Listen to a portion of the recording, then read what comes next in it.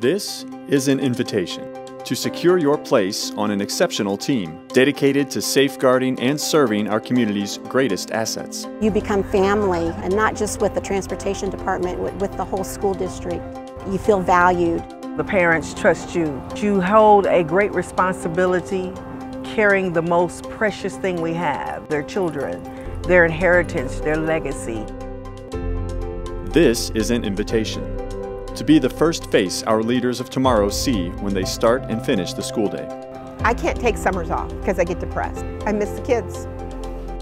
Was looking for a, a job change, something different, the opposite of what I was before, which was sitting in an office. You know, more of a sense of purpose. This is an invitation to be supported with full benefits and paid training and permitting. So whether you are a retiree, new to the job market, or just excited to positively impact the generation of tomorrow, apply to be an LSR 7 bus driver today. Just need to come try it out. I think you'll like it.